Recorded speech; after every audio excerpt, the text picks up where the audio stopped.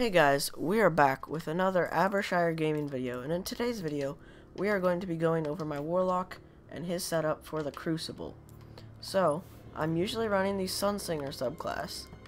For the grenade, I'm running the Firebolt grenade, and we'll get into more about that in just a sec. I'm using the Focus Burst because this allows you to go faster, and I like that. And Fireborn because you get to revive yourself once you have your super without anyone needing to revive you, which is pretty nice.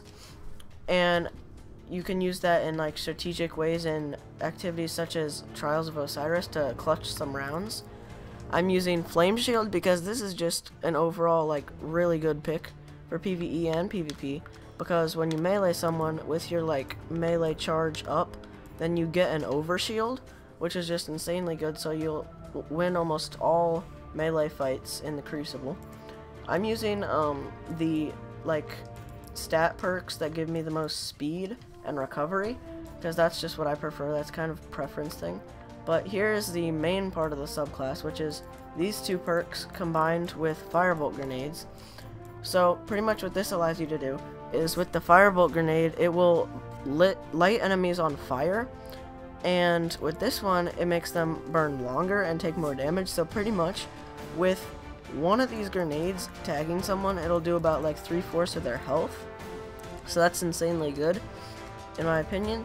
And it'll like burn people out if they've got any damage on them, pretty much, before you hit them. And it'll also be a really good thing for like priming people.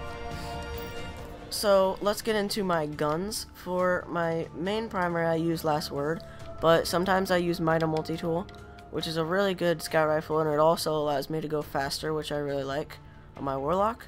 I usually use this sniper right here. It's the Thousand Yard Stare from the quest, and it's really good. And when I'm shotgunning, which is usually with my Mida, I use this Conspiracy Theory, which is also from, like, the Nightfall quest, I think it was. Um, I use this Vertigo, maxed out blast radius and velocity pretty much, and proximity detonation. For the ghost, this ghost has got intellect discipline, it's pretty much the only reason. And so for this helmet, this is the Trials of Osiris helmet. It's a really good helmet. And it's also got this Angel of Mercy perk, which I think is really um when you revive people, it gives you just a little bit of extra super energy, which is really nice because you just get your supers slightly faster than other people. These gloves are from the Raid King's Fall hard mode. Um, they're really good because they have intellect discipline and they have grenade throw distance, which is good for that firebolt grenade that I was talking about. And they have sniper rifle reload, which is really nice because I like sniping and this lets me get back into action faster.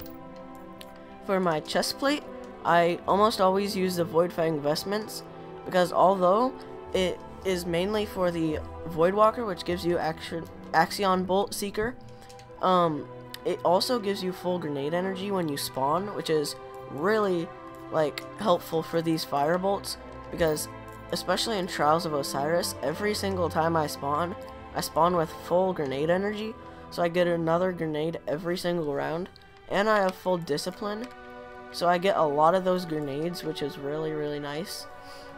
And for the boots, I have the Winged Sun boots, which is also from the Trials of Osiris. These have Intellect Discipline. They only have Fusion Rifle ammo, which is kind of bad.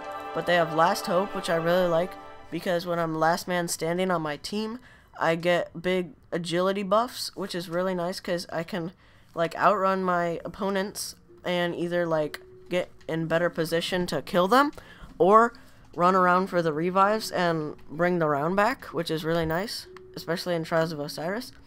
And for my bond, I just have the one from the raid. It's got 319 light and intellect discipline. That's why I use it. And same thing for this. It's from the raid, intellect discipline 320. So that is my setup for my warlock. I hope you guys enjoyed, and maybe for some of the new players out there, might help you guys get a setup and what gear you might want to obtain.